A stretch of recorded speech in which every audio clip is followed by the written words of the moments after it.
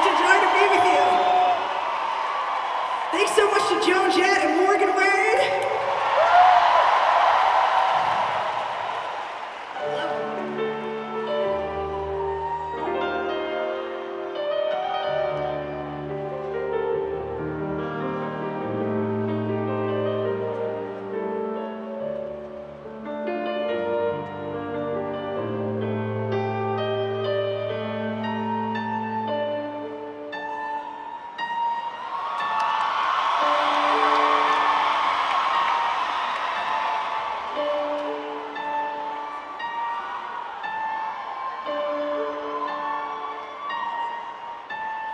like